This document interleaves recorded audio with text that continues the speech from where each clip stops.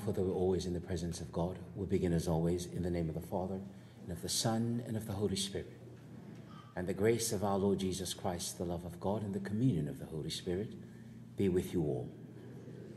My brothers and sisters in Christ, as we prepare to offer to Almighty God our morning sac- our afternoon sacrifice of praise and thanksgiving, let us call to mind our sins and ask the Father's forgiveness, for His full of gentleness and compassion. I confess to Almighty God and to you, my brothers and sisters, that I have greatly sinned in my thoughts and in my words, in what I have done, in what I have failed to do, through my fault, through my fault, through my most grievous fault. And therefore I ask Blessed Mary, the Virgin, all the angels and saints, and you, my brothers and sisters, to pray for me to the Lord our God. And may Almighty God have mercy on us, forgive us our sins, and bring us to everlasting life.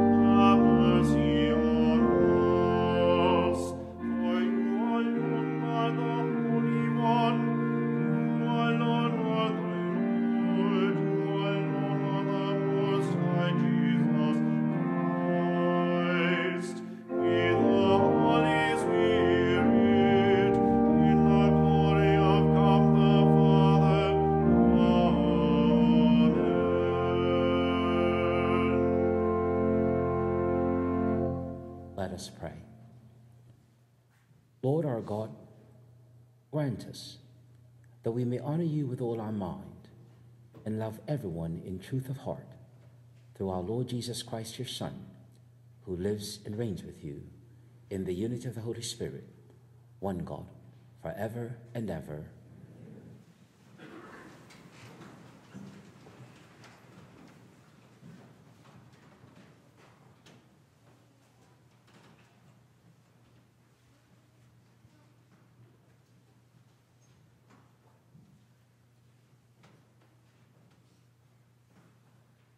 A reading from the book of Deuteronomy. Moses spoke to all the people, saying, A prophet like me will the Lord your God raise up for you. From among your own kin, to him you shall listen. This is exactly what you requested of the Lord your God at Horeb. On the day of the assembly, when you said, let us not again hear the voice of the Lord our God, nor see the great fire any more, lest we die. And the Lord said to me, This was well said. I will raise up for them a prophet like you from among their kin, and will put my words into his mouth. He shall tell them all that I command him. Whoever will not listen to my words, which he speaks in my name, I myself will make him answer for it.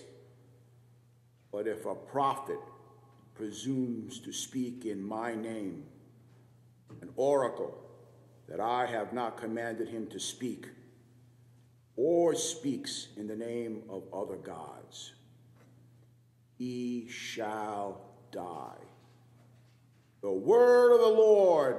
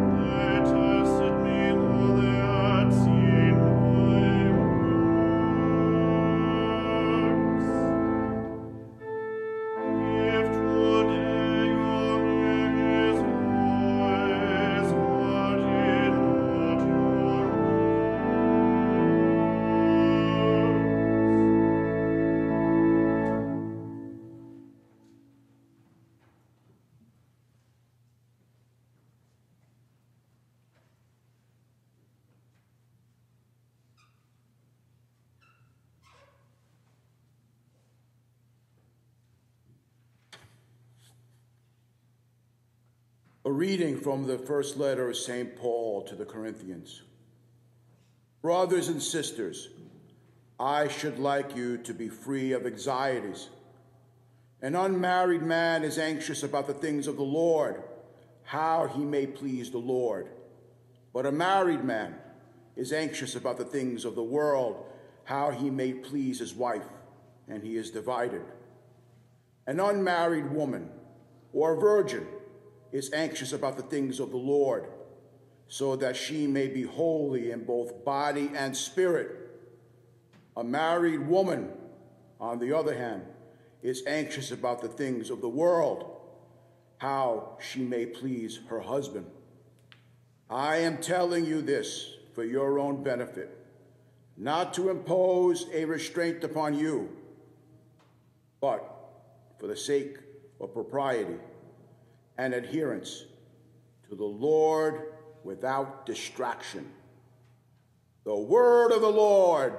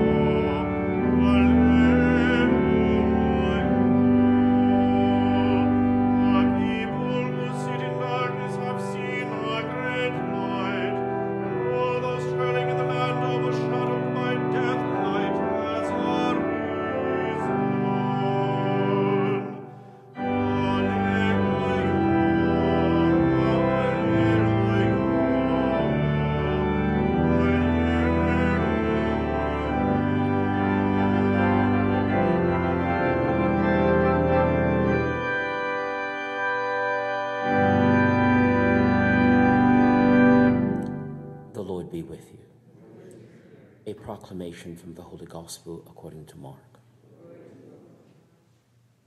Then they came to Capernaum, and on the Sabbath Jesus entered the synagogue and taught. The people were astonished at his teaching, for he taught them as one having authority, and not as the scribes. In their synagogue was a man with an unclean spirit. He cried out, What have you to do with us, Jesus of Nazareth? Have you come to destroy us? I know who you are, the Holy One of God. Jesus rebuked him and said, Quiet, come out of him. The unclean spirit convulsed him, and with a loud cry came out of him. All were amazed and asked one another, What is this? A new teaching with authority. He commands even the unclean spirits, and they obey him. His fame spread everywhere throughout the whole region of Galilee. The Gospel of the Lord.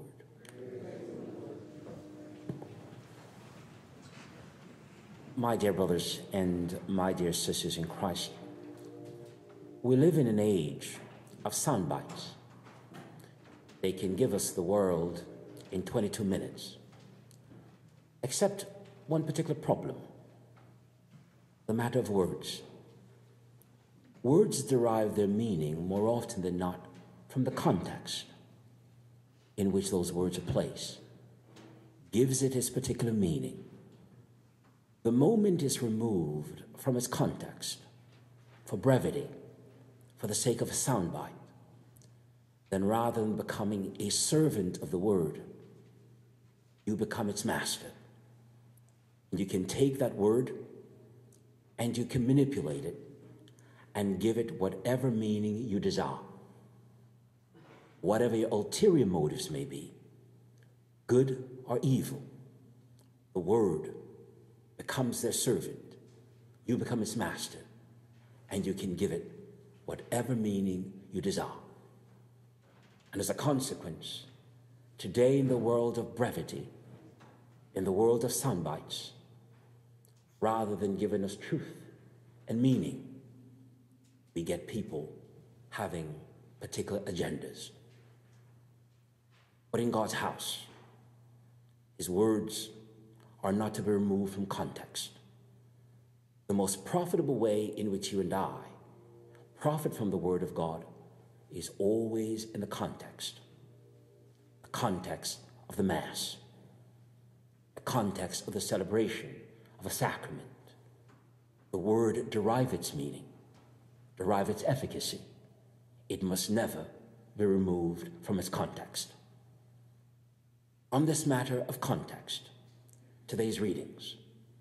The context Moses is notified by God that his days of service is at an end.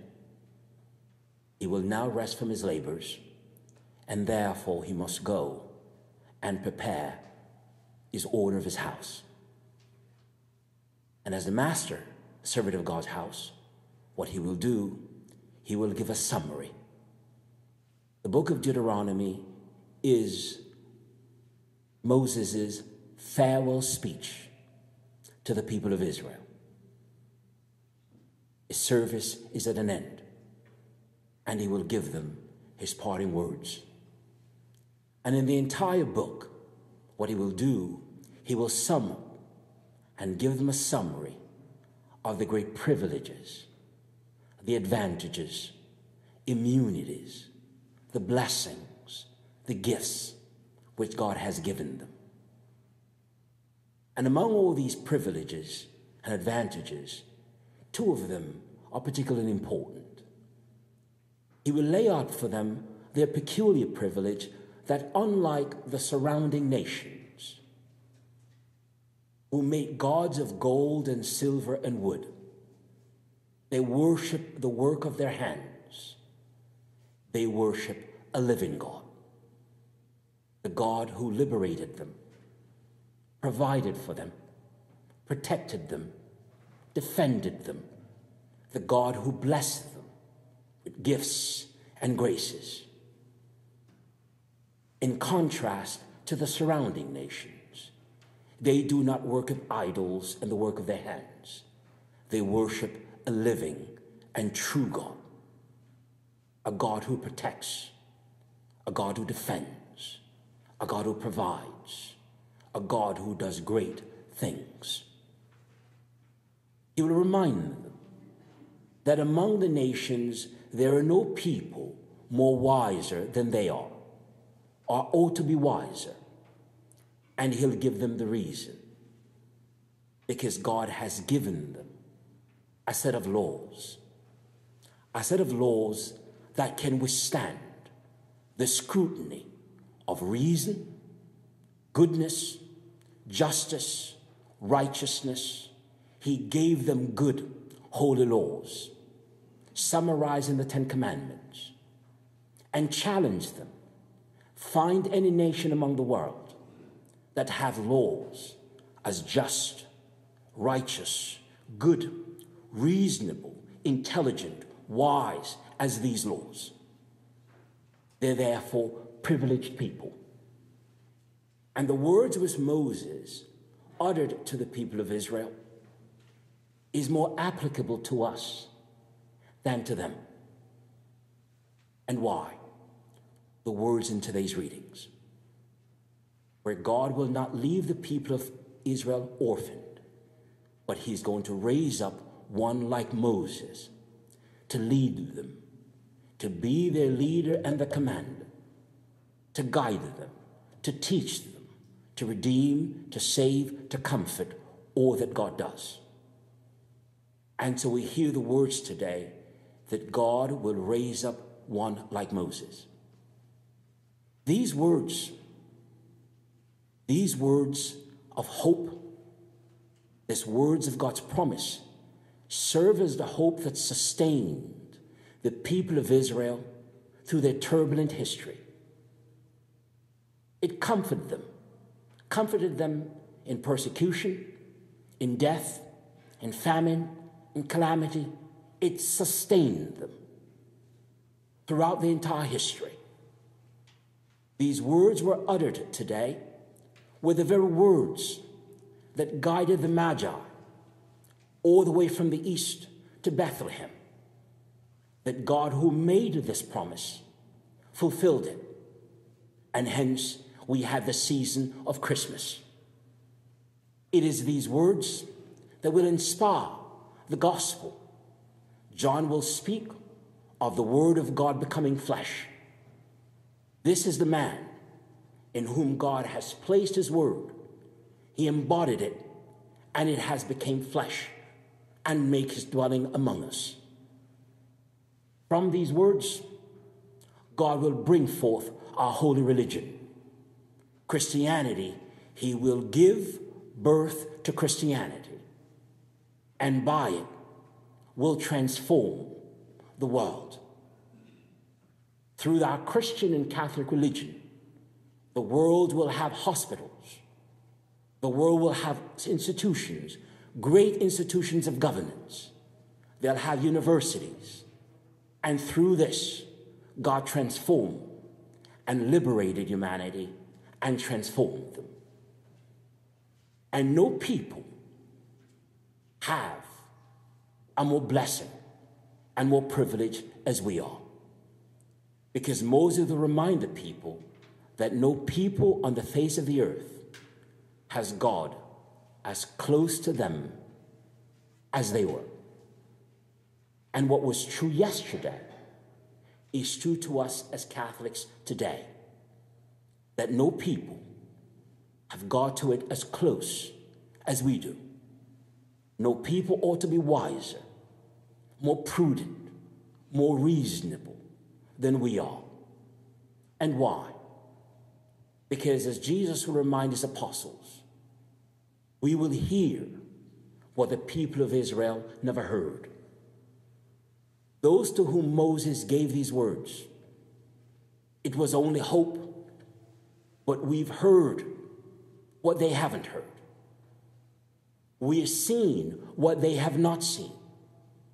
And in much the same way, Christ would say to his apostles, Blessed are your ears, because you've heard what many wish to hear. You've been given eyes to see what many wish to see.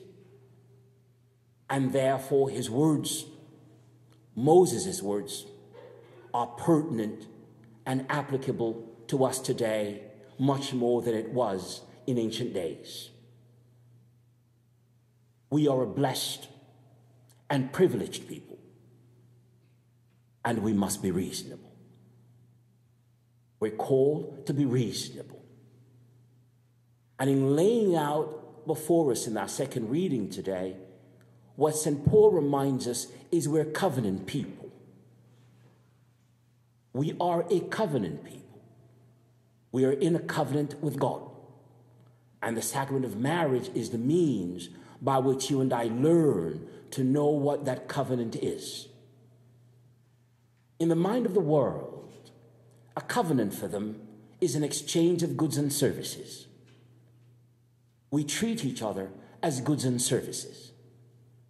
When you're no longer usable to me, you're exposable, you're disposable, expendable. But in the covenant which God formed, we're not exchanging goods and services. People are not goods and services, disposable, expendable. Because in the covenant, what we'll have is an exchange of life and love. Quite a different ballgame. And we as Catholics must be reasonable. We will and must be distinguishable. We are a distinguishable people, and we must be distinguishable. And the three major things that will distinguish us as a people our faith, our hope, and our love are three distinguishing character. We're people of faith, we're people of hope, and we're people of love. And what today's readings lays out why we are a people of hope. Because with God, a promise made was a promise kept. He kept it, and He will keep it. It's the nature and beauty of the man.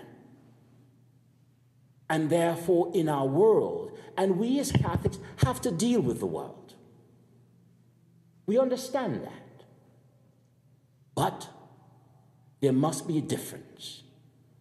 As a people of peace, a people of wise, great wisdom, we must accommodate the world.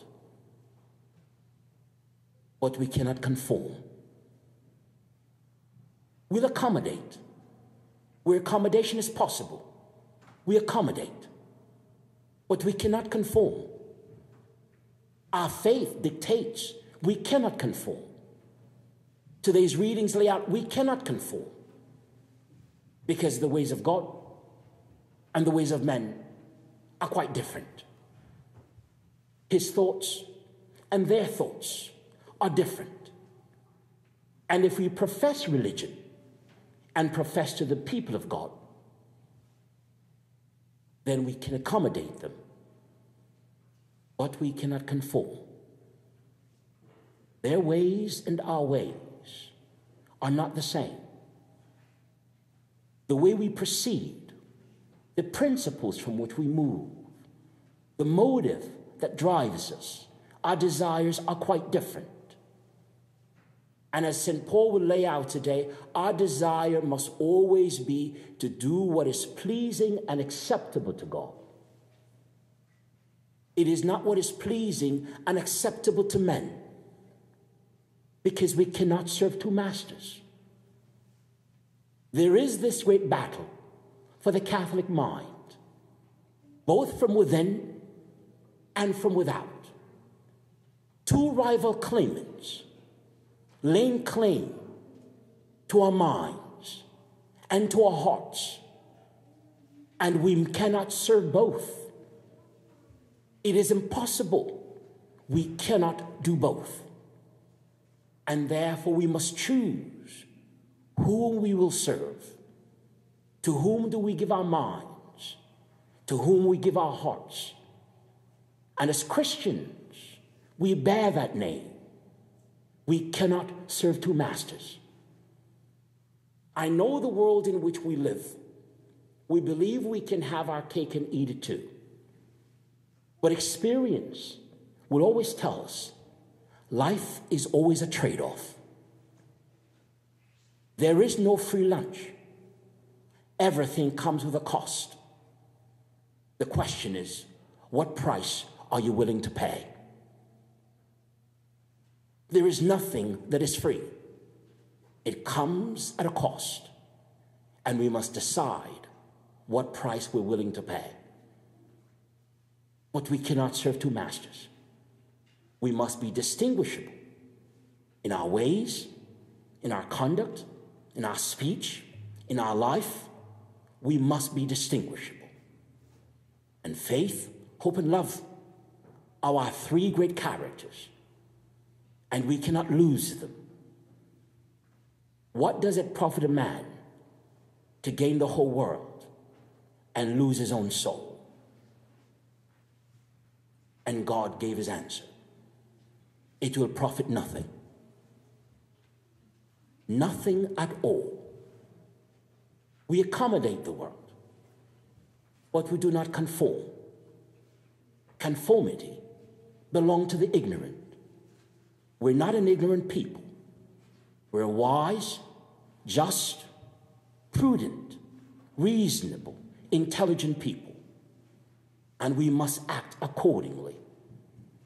The God whom we serve is a wise and prudent God, and so much his people. We're not fools, we're not ignorant, we're people of faith.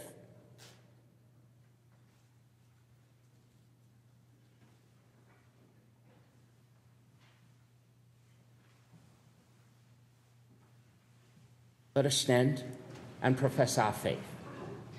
I believe in one God, the Father Almighty, maker of heaven and earth, of all things visible and invisible.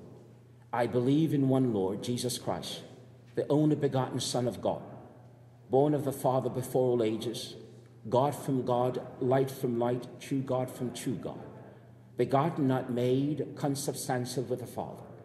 Through him all things were made. For us men and for our salvation, he came down from heaven and by the Holy Spirit was incarnate of the Virgin Mary and became man. For our sake, he was crucified under Pontius Pilate. He suffered death and was buried, and rose again on the third day in accordance with the Scriptures. He ascended into heaven and is seated at the right hand of the Father. He will come again in glory to judge the living and the dead, and his kingdom will have no end. I believe in the Holy Spirit, the Lord, the giver of life who proceeds from the Father and the Son, who with the Father and the Son is adored and glorified, who has spoken through the prophets. I believe in one holy, Catholic, and Apostolic Church. I confess one baptism for the forgiveness of sins, and I look forward to the resurrection of the dead and the life of the world to come. Amen. Called by Jesus to holy lives, let us now offer our prayers and petitions for all those in need. For the Cardinal's annual stewardship appeal, may God's grace and blessing shower down upon our parish for our support of those in need. We pray to the Lord. Lord, hear our prayer. For families, that they learn to overcome problems together and that they, this be a time of blessing when they grow in friendship, understanding, love, and prayer. We pray to the Lord. Lord, hear our prayer. For the people of the United States, that we may be united in building a society in which everyone can have the opportunity, opportunity to live with dignity and hope. We pray to the Lord. Lord, hear our prayer. Let us remember in a special way at this Mass the people of our parish. We pray to, uh, to the Lord for those, for those souls of the faithful departed from our parish who have gone before us in faith and love, especially Dorothy Bora, Margaret Mary Crow, May they receive the reward of their goodness, we pray to the Lord. Lord, hear our prayer. In the silence of our hearts, we present to God our particular intentions. We pray to the Lord. Lord God, blessed are you, for in your Son you have shown us the way to be your true disciples. Hear these our prayers and grant them through Christ our Lord. Amen.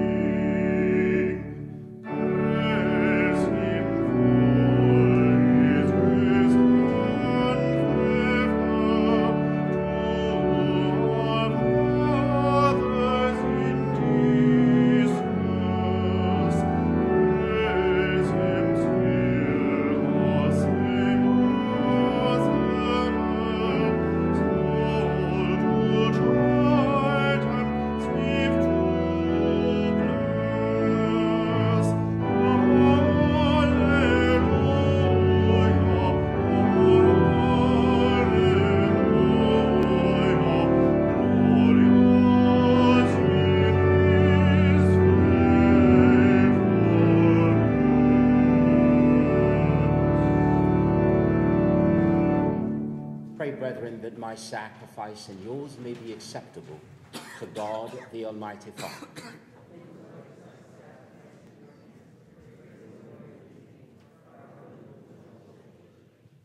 O Lord, we bring to your altar these offerings of our service.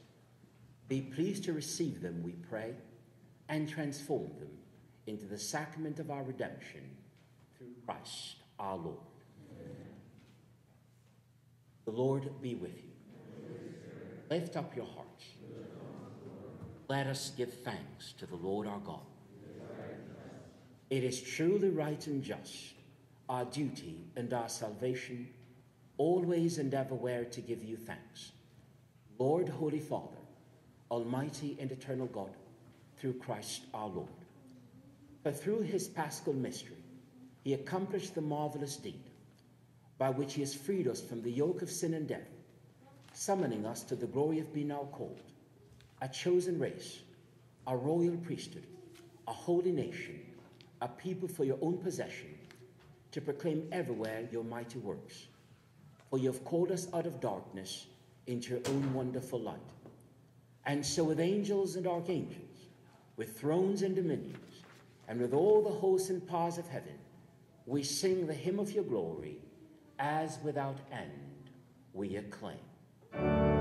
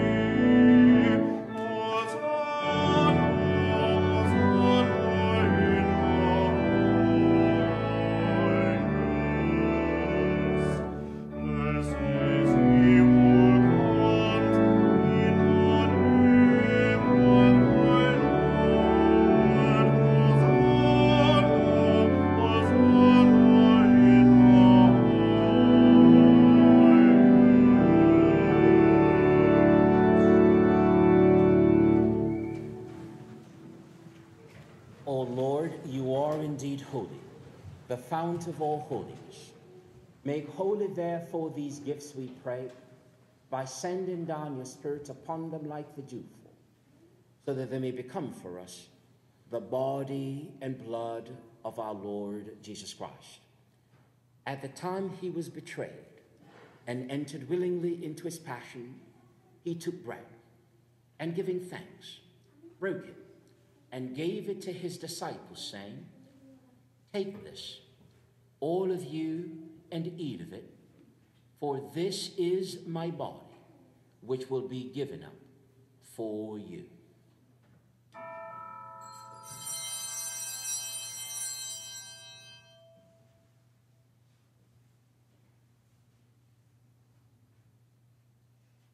In a similar way, when supper was ended, he took the cup, and once more giving thanks, he gave it to his disciples, saying, Take this, all of you, and drink from it, for this is the cup of my blood, the blood of the new and eternal covenant, which will be poured out for you and for many, for the forgiveness of sins. Do this in memory of me.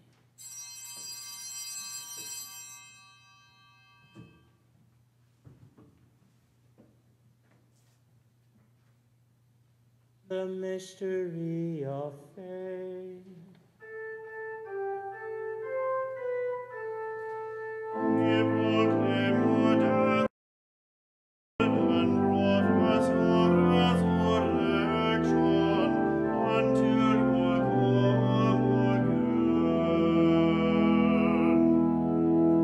Therefore, as we celebrate the memorial of his death and resurrection, we offer you, Lord, the bread of life and the cup of salvation, giving thanks that you have held us worthy to be in your presence and to minister to you. Humbly we pray that partaking of the body and blood of Christ, we may be gathered into one by the Holy Spirit. Remember, Lord, your church spread throughout the world and bring her to the fullness of charity together with Francis our Pope, Timothy our Bishop, and all the clergy. Remember also our brothers and sisters who have fallen asleep in the hope of the resurrection, and all who have died in your mercy. Welcome them into the light of your face. Have mercy on us all, we pray, that with the Blessed Virgin Mary, Mother of God, with Blessed Saint Joseph, her spouse, with the blessed apostles, Saint Margaret, our patron saint, and all the saints who have pleased you throughout the ages, we may merit to be co heirs to eternal life and may praise and glorify you through your Son, Jesus Christ. Through him, with him, in him, in the unity of the Holy Spirit, all glory and honor is yours, Almighty Father, forever and ever.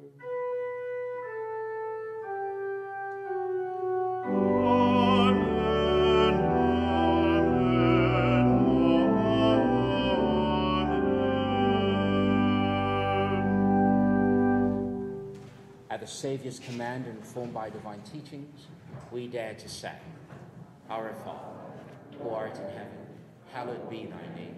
Thy kingdom come, thy will be done, on earth as it is in heaven. Give us this day our daily bread, and forgive us our trespasses, as we forgive those who trespass against us.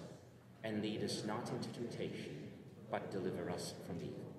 Deliver us, Lord, we pray, from every evil graciously grant peace in our days, that by the help of your mercy we may be always free from sin and safe from all distress, as we await the blessed hope and the coming of our Savior, Jesus Christ. For the kingdom, the power, and the glory are yours. Lord Jesus Christ, who said to your apostles, Peace I leave you, my peace I give you. Look not on our sins, but on the faith of your church. Graciously grant her peace and unity accordance with your will, who live reign forever and ever. The peace of the Lord be with you always.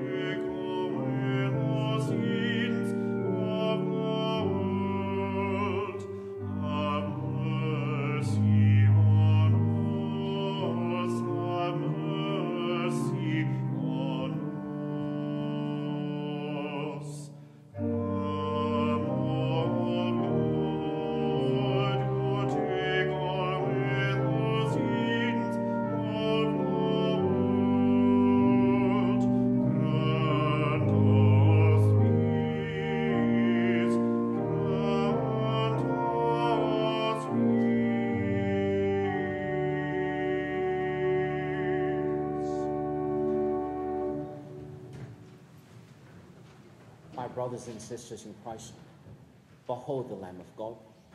Behold him who takes away the sins of the world. And blessed are those who are called to the supper of the Lamb. Lord, I'm not worthy you should enter under my roof, but only say the word, and my soul shall be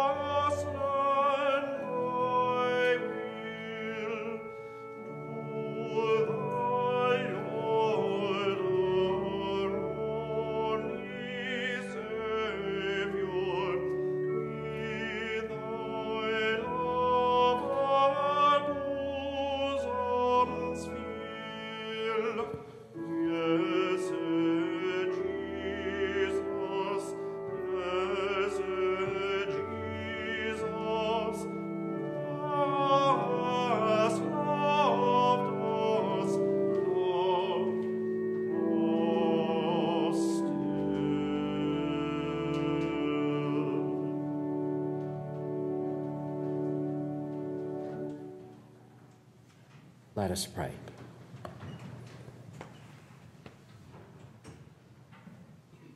O Lord, nourished by these redeeming gifts, we pray that through this help to eternal salvation, true faith may ever increase through Christ our Lord. Today began, begins Catholic School Week. Please keep our students, teachers, principals, and their families in your prayers as we thank God for we thank God for them and for our Catholic schools. Eucharistic ministry. Lord, may the bread of salvation